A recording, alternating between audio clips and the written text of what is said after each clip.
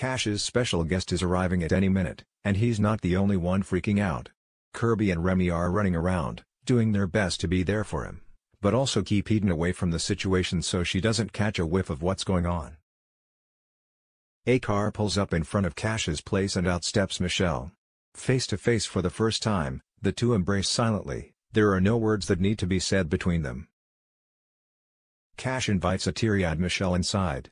Michelle is thankful and tells him she would like to get to know Felicity better. The two bond over photos of Felicity throughout her life. They also go for a walk out on the beach. However, luck has it that Eden is out for a stroll at the same time and she sees the pair nestled up together on a bench. Eden is devastated. She storms back home and confronts Remy, asking why he didn't tell her that Cash had moved on. Before she can get even more of the wrong idea, however, Remy diffuses the situation by telling her what's actually going on. Eden runs over to Cash's and begs him to let her talk to Michelle, after all, Felicity was Eden's best friend. She argues that Cash isn't the only one who misses her, but Cash refuses.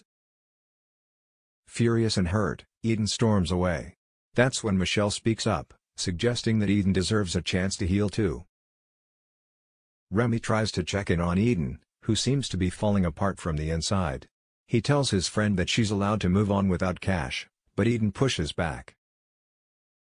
To her, her entire life has fallen apart, she's allowed to be miserable and Remy should let her be just that. Remy doesn't know what to say. Is Eden going to be like this forever?